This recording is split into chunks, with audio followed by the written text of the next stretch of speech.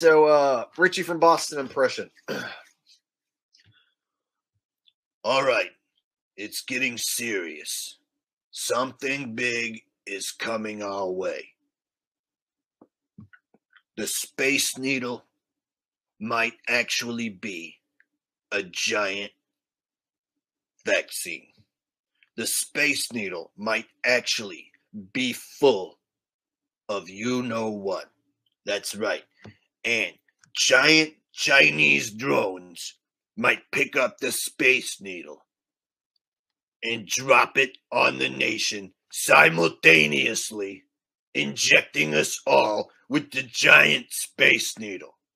I've seen crazier things, people. I saw with my own two eyes a direct energy laser beam shoot a squirrel out of the tree from near my house.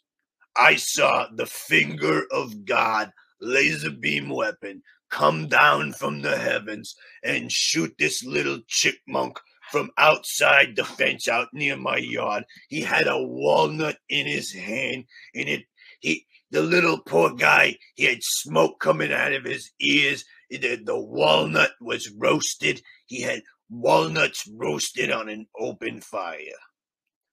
I am not kidding, people. If you don't get right with God, you, if you don't get right with God, soon the Chinese drones are gonna find you. And they're gonna shoot poison demon arrows in your asshole. You better repent now. Find God now. But I digress. So, like, share, subscribe, or don't. I'm out. All right.